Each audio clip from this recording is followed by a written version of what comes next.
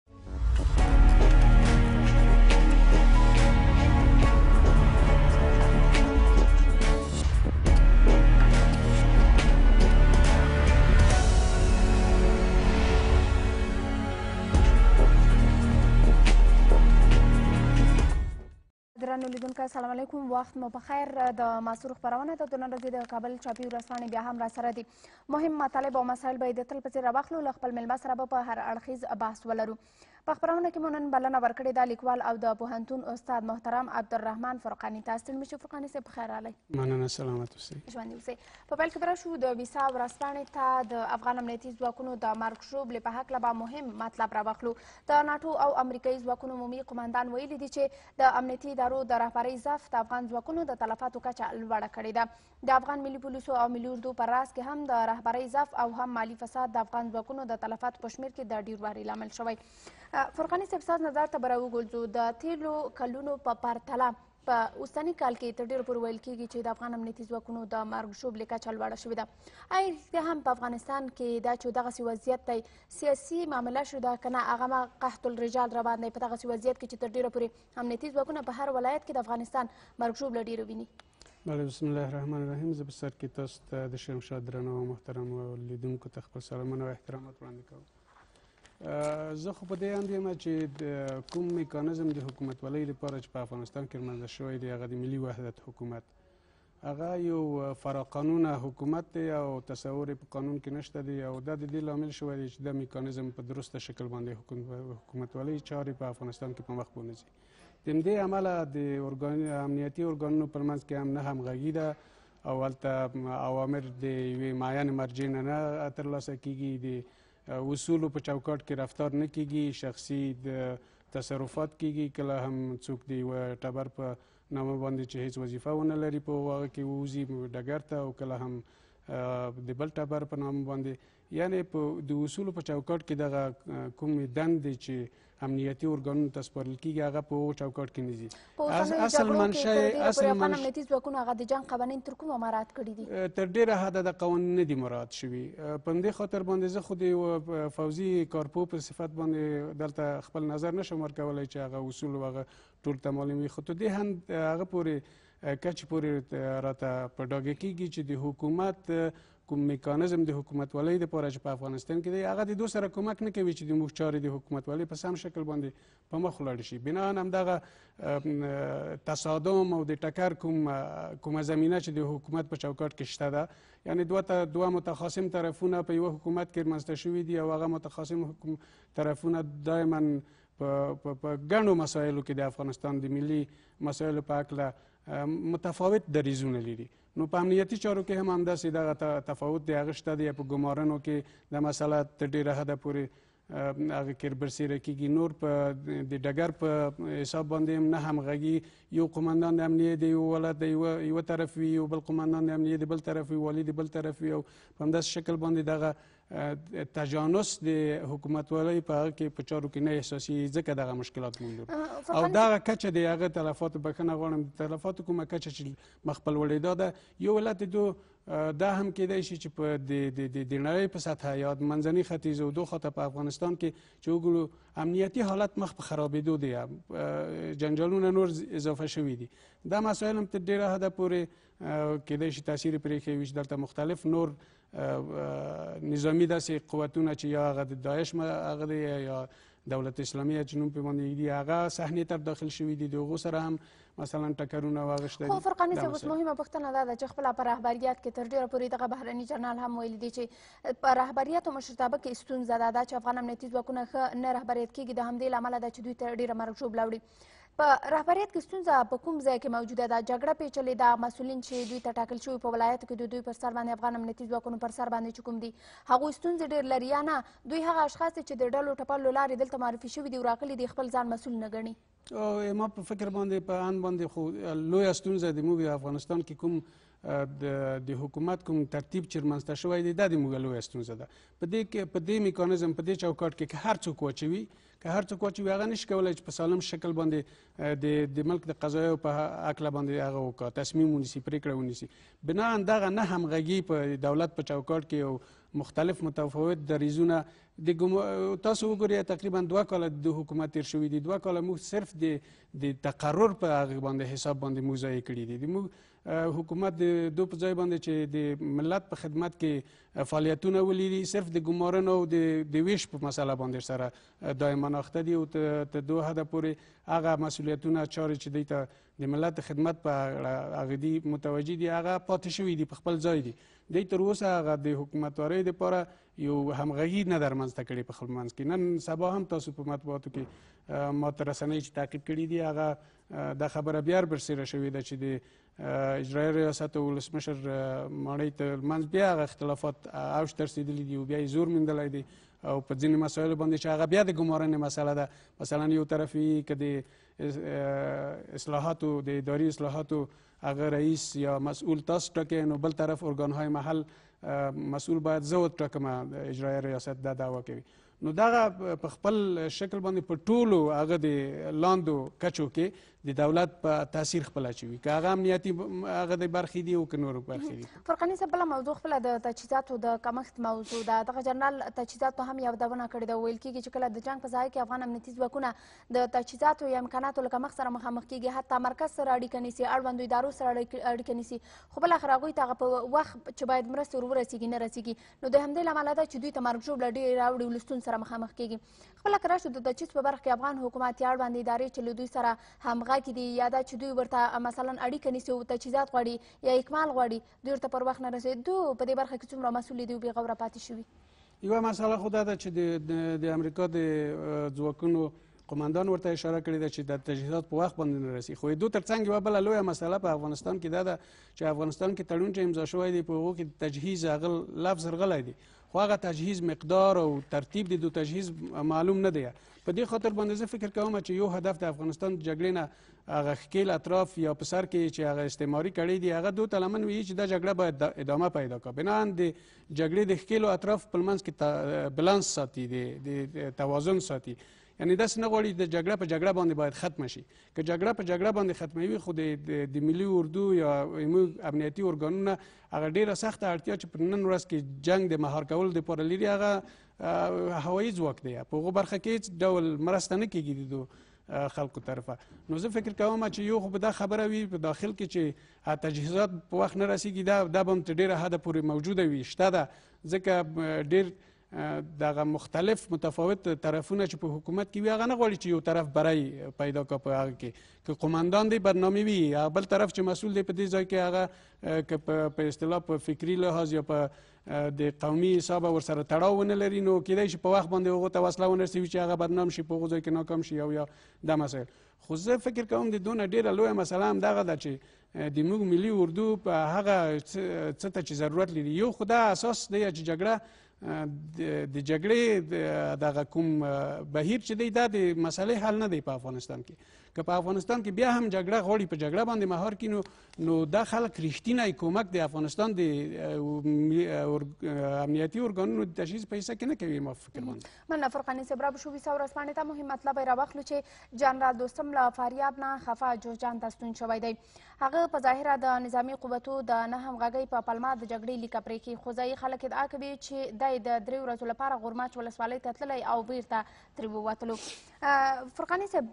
څو ورځې وړاندې خپله جنرال دوستم ویلي و چې دا به فاریاب ته لاړ شي هغه ولسوالۍ چې له جدي امنیتي ګواښونو سره مخامخ دي هغه به وژغوري او خلکو سره به مرسته وکړي اوس لیدل کېږي چې د فاریاب ولایت څخه دا بېرته جوزجان ته تللی هلته د جګړې شدت او خپله یا دا چې جګړه پېچلې ده نشي کولی هغه مهار کړي یا هم بلاخره دا مجبوره شوی دی چې دغه ولایت ته بېرته سفر وکړي جوزجان ته لاړ شي که نه دا یوه بهانه ده د خپلو هغه ناکامیو لپاره چې دا هلته تللی و اوس یې کوي او زه تر ډیره حده پورې دا هم دا مسله هم بیا ما ما ما مسله ته راځي چې دلته همغږي موجود نه دی هر سړی یو خو د اصولو خلاف یو حرکت یې ده مسؤل جهتونه شته دي که دفاع وزارت یې دفاع وزارت مکلف دی چې جګړه کې په ډګر کې هغه حضور ولري دفاع وزیر که تر ډیره حده مسؤل دی هغه دی ولاړ شي جبهې ته یعنی یو څوک چې په سیاسي پوست کې کار کوي د ولسمشر دوهم هغه وی لمړی مرستیال وی هغه د جګړې ډګر ته اصلا باید د اصول په چوکاټ کې ونه وزي ضرورت دي دونه شته چې هغه وزي که هغه وزي د مثلا بیا هم د داسې مسایلو په اساس باندې وزي چې یا د خپل قوم نه دفاع کوي یا د خپل ټبر نه د حمایت په بیا خو دا د مسولین د موغو ټبر پورې وتړل شول یعنی مسئله دا ده چې عمومي د ملي منافعو لپاره باید د خدمت وکړي اصلي هدف باید دا وي چې یو یو لوړپوړی چارواکی په هغه کې په د حکومت په هغه کې باید د ټول ملت هغه وي ممثل وي ټول ملت ته باید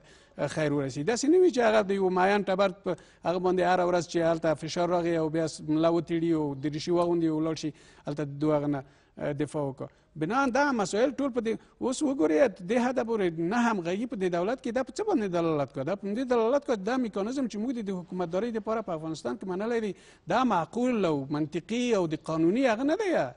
سیستم نه دی دا موږ سره کمک نه کوي چې موږ د افغانستان ملت په دې میکانیزم کې حکومتداري وکړو یا چوکاټ ورته ورکړو زه د لوړپوړی چارواکی لومړی مرستیال دی په ولسمشر باندې هغه کوي تنقید کوي وی چې دا مثلا یا خپل قوم پالنه کوي او یا د لوګر خلک چې وي هغه څه مسایل تینا نقل شوي دي جملات چې ویلي دي چې که یا د لوګر وي هغه خوښیږي او یا څوک چې په پښتو باندې خبرې کوي هغه خوښیږي او یا د اوخانه په مثلا اجرایه رئیس ته وی چې هغه یو ناتوانه او هغه که څه هم تاجک دی خو ناتوانه انسان دی لوړپوړي چارواکي له خولې نه د دغسې خبرو وتل او یا هم د دغه څرګندونو کول د څه ښکارندویي کوي دا د دوه ښکارندویي کوي چې موږ د یو د یو غیر منصف او غیر عادل حکومت سره مخ یو هغه حکومت چې موږ د چارې نشي په مخ بولای یعنی هغه میکانیزم چې د حکومت داري د پاره موږ منلای دي موږ په سر کې دا اشتباه کړې ده چې تفاهم د سیاسي تفاهم په اساس باندې موږ قانون اساسي درلود هغه تصورم ته پښو لاندې کا دا بالاخره اوسې نتایج مو زه دا وایم چې د افغانستان کې تر ټولو نه اړینه مسله دا ده چې یو خو د سولې خواته حرکت وشي او بل د دوی په خوا کې حکومت د قانونیت خواته هغه حرکت وکړه فرقاني صاحب بیا هم همغه مسله ده چې افغان امنیتي ځواکونه تر ډیره پورې سیاسي شوي دي اوس د جنرال دوستم تلل یو ولایت او هلته دا چې یا سیمې یا ولسوالۍ له طالبانو بیرته وژغوري هلته خپل امنیتي ځواکونه یا دفاعي ځواکونه چې کله د جګړې ساحې ته ځي یا سنګر ته ځي نو هغوی یې پر سر باندې هغه مشرتابه هم لري که چېرته جنرال دوستم دغسې ولایاتو ته ځي هغه هم دغسې ولایاتو ته چې تر ډېره پورې هغه ډلو ټپلو ته اشاره کېږي څه فکر کوئ دا څومره خپله د افغان امنیتي ځواکونو پر روحیه باندې او هغوی باندې څومره دا فشار راوړلی شي بد تاثیر کوي ګوري اول زه فکر کوم چې دا قانوني هیڅ بڼه نه لري چې ته ولسمشر لمړی ماوند ووزي او د عسکري درشي دی واغوندي او لړ د شي جبهه ته ډګر ته بیا تاسو وګورئ چې مثلا تاسو خبره چې پالته مسول کس وي هغه مسول کس به خپل صلاحیتونه لري هغه صلاحیتونه ته چې ورشي خود هغه لاندې شول په حساب ته پخو لاندې شول هغه صلاحیتونه هغه نشي کولای چې خپل سر باندې تصرف وکړي بنا تصرفات ټول د تاله استول ویدل او د دونه اوخواته مثلا یوري جګړې ته ننوځي دا مسولیت خبرې دي مسولیت باید ننوځي او بیا بیرته به مسولیت جګړې نه بیرته وځي دا خو د هغه افغان امنیتي ځواکونو چې هلته قرباني ورکوي هلته په سنګر کې شته دي ته یوه ورځ ورشي ملا یې تړي او بله ورځ بیرته ته وځي هغه خو بد تاثیر کوي هغه خلک روحیه یې ضعیفېږي هغه خلک په سنګر کې شته دي هغه خو ورته تړلي دي د جګړې ته نو ته خو یوه ورځ لاړ شي په خپل طبیعت باندې او بله ورځ وځي د په خپل طبیعت باندې دا درست تصرفات دا قانوني تصرفات اصولي تصرفات نه دي د حکومت په چوکاټ کې دا هر شی خپل ځان ته هغه لري په اصطلاح چارچوکاټ لري هغه چارچوکاټ باید مراعات شي په هر اداره کې د وزارت دفاع مسئول دی که ته داسې ډیر مثلا په جګړه په ټول احترام سره چې هغه په جګړې په ډګر کې مثلا هغه تجربه به لري او بیا د ولاړ شي په موږ وزارت دفاع کې د ورته وظیفه ورکړه دفاع مسئولیت په غاړه واخلي او تل دې په جبهه کې وي په دې شکل باندې تصرفات دا د ملت او د امنیتي ځواکونو د روحیه باندې څه غټ تاثیر اچوي او مورال یې ضعیفېږي مننه فرقاني صاحب رب شو سرنوشت ورځپاڼې ته مهمه طلب راواخلو چې یو شمېر وکیلانو ویلي دي بهرنیان په افغانستان کې د نشه یي توکو په تولید او قاچاق کې لاس لري د ولسي جرګې غړي وایي بریټانیا او متحده ایالات په افغانستان کې د مخدره توکو له کښت تولید او قاچاق څخه هر کال میلیاردونه ډالر ترلاسه کوي فرقاني صاحب په دې وروستیو کې د مخدره توکو پر وړاندې د مبارزې په اړه افغان ولسمشر هم ډېری څرګندونې کوي وایي چې دوی به جدي مبارزه وکړي په ټوله کې لوړپوړي چارواکي دې ته ژمن دي خو که چېرته رښتیا هم په افغانستان کې د قاچاق تولید او د کوکنارو د کرکېلې په برخه کې بهرنیان لاس ولري په افغانستان کې څومره رښتیا هم د دې هغه امکانات لیدل کېږي چې نشهيي توکي دې له افغانستان څخه ورک شي ګورئ زه فکر کوم چې دا ډېره تلمر روښانه ده چې په افغانستان د جګړې یو مهم عنصر هم دغه نشهیي توکي دي او د نشهیي توکو د کرکیل دپاره داسې فضا رامنځته کول یو ضرورت دی لکه په افغانستان کې چې ده چې حکومت حاکم نه وي په بشپړه توګه هر حقیقیزه توګه باندې حاکم نه وي او هر ځای ته رسیدګي ونه کړو او داسې سیمې موجودې وي چې په هغو کې د حکومت تسلط تر ډېره حده نه وي هلته هغه د د د کرکیل دپاره یو یوه مځکه وي چې هلته وکرل شي یعنې دغه فضا د بې امنیتۍ، د جګړې د تداوم، دا مسایل چې په افغانستان کې رمنځه شوي دي یو هدف د دون همدا دی چې دا یوه مزرعه وي د د د د نشهیي توکو دپاره او دلته وکرل شي او د دو ځای نه تاسو ګورئ تقریبا سږ کال چې زه تعجب کوم وزیر د نشهیي توکو سره د مبارزې وزیر روزي او په مطبوعاتو کې وایي چې سږ کال دولس ټنه اضافه تولید راغلی دی په هغه کې نو تاسو مسؤلیت څه دی دا وزارت چې بسته یو وزارت د نشه یي توکو سره د مبارزې په اړوند رغلی دی د دوو کالو په جریان کې چې تاسو مسولیت اخیستی دی تاسو په عوض د دې چې راشئ یا خلکو ته اطمینان ورکړئ چې نشه یي توکي هغه کم شوی دی او موږ ته ډېره حده مبارزه ورسره کړې ده په هر ډګر کې مبارزه ورسره کړې تاسو څه اعلان کوئ د مطبوعات لري چې تولید دوولس سوه ټنه په افغانستان کې سږ کال اضافه شوی دی دا په څه باندې دلالت کو دا په ضعف باندې دلالت کو دا په دې باندې دلالت کو چې کړې شته دي او د خلکو بهرینه دا بهرنی هدف دی چې دلته دا شی وکړل شي تاسو کو وګورئ مثلا د دې څلور زره او سل ټنه په حدودو کې تولیدات شوي دي په دوه کې سل ټنه په افغانستان کې مثلا یا د خلکو مصرف کړي او یا نیول شوي دي د دونه څلور زره ټنه ټول بهرني هوادونو ته قاچاق شوي خو په دغه قاچاق او کرکېله کې تر ډېره پورې یوازې بهرنیان لاس لري که نه هم په کور دننه دغسې کړیو ګروپونه شته دی چې د بهرنیو په دغه برخه کې ملاتړ کوي او دا قاچاق خو دوته سلسلې ته ضرورت لري چې د داخل نه شروع شي بالاخره ووځي بهرنۍ کړۍ ولري داخل کې هم کړۍ شته دي داخل کې چې کړۍ نه وي حکومت به د دوی په مقابل کې هغه درلودلی یعنی سالم کړنې به درلودې چې دوه مخه ونیسي خو هغه شی موږ نه محسوسو یعنی په ورځ ته بلې پورته کېږي باوجود دو چې دو ته څنګ چې یو وزارت ورته لرو یوه بله موازي اداره په وزارت داخله کې ورته لرو هغه وزارت داخلې هغه موازي اداره په دوه اړوند څه کړي دي باید عملی اقدامات وای په دوه کړه خو دلته هم دغه شی ښیي دغه بالاخره هم دې فرضیې ته موږ رسو چې دلته یوه سلسله د هغه شته ده مافیا شته ده چې داخل نه تړلې ده تر بهره پورې او دا شی قاچاقي زه د دو په څنګ کې چې مثلا موږ تاسو خو یا به په اصطلاح لږ د علمي لحاظه ورسته پاتې ټولنې وغه وو خو په پرمختللي ټولنو کې د د دغو هغه نه په سالمه شکل باندې استفاده کیږي په دواو کې دونه استعمالیږي خو دا چې یوه داسې ځای ورته وي چې ځکه د دو چیرته چې کرل کیږي حتما هغه سیمه کې هغه خلک پې باندې معتاد کیږي یا نور د اجتماعي هغه لري ازرار لري د دوی لپاره دی تل داسې مناطق په دنیا کې ورته پیدا کوي چې هلته جګړه وي او ثبات نه وي او ضعیف حکومت وي په هغو ځایو کې که هغه ضرر خلکو تر سیدا دی ته ضرر نه رسی خو فایده یې دی ته رسی چې کله هلته قاچاق شي ولاړ شي یا په دواو کې تنه استفاده کوي او یا د خپل ضرورت په اساس باندې دوه نه استفاده کوي بنان په افغانستان کې موږ یوازې د هلمند بیلګه ورکو حال ته تر ډیره پر ویل کیږي چې جګړه د مافیا جګړه ده که چیرته افغان حکومت په دې هم پوهیږي چې په دغه ولایاتو کې د افغانستان د کوکنارو یا د قاچاقبران زیات یو مافیا حاکمه ده څه فکر کوئ نو افغان حکومت ولې بیا په دې برخه کې پاتې راغلی دی افغان حکومت کې یعنی په په تیر کې او په اوس کې داسې کړي په د حکومت کې حاکمي وي چې هغه په دوه مسله کې لاس لري هغه کړی خو نه غواړي چې دا شی هغه شي بنا او هغه نفوذ لري په دوه حکومت کې نفوذ لري قدرت لري قوت لري هغه کړی شته دي چې د مخه نیسي چې حکومت په زغر د دوه مسلې بل بهرنۍ اړخ دي دوی چې وګوري بهرنۍ قاچاقبران یا هغه خلق مافیا چې په دوه کې لاس کې لري هغه ډیر قوي او هغه خلق دي یعنی په حکومت کې دلته اغلی دي